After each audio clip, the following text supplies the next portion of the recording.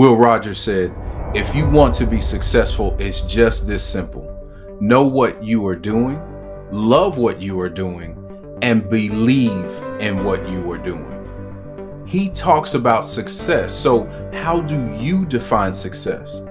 For this Friday's challenge, I want you to define success. What does success look like for you? Earl Nightingale defines success as the progressive realization of a worthy goal. Once you get your definition of success, what is one thing you can do to progress to your worthy goal over this weekend? I will check back with you Monday.